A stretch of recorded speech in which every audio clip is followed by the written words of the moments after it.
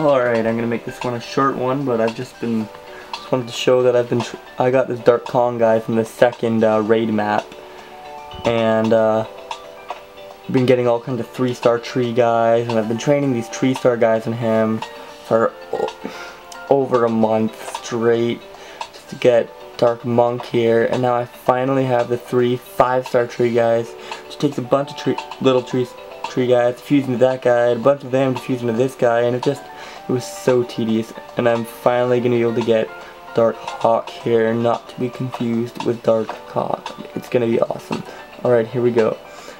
Touch with these three five-star tree guys, and turning Dark Monk into Dark Hawk.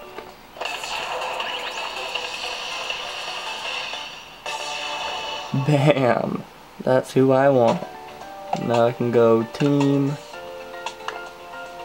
Got my grass team. Take him out, which I'll probably end up replacing him when he's 6 star up 5 with um, the little clown dude. But now, I get to train him. He's S+, plus, so that's pretty boss.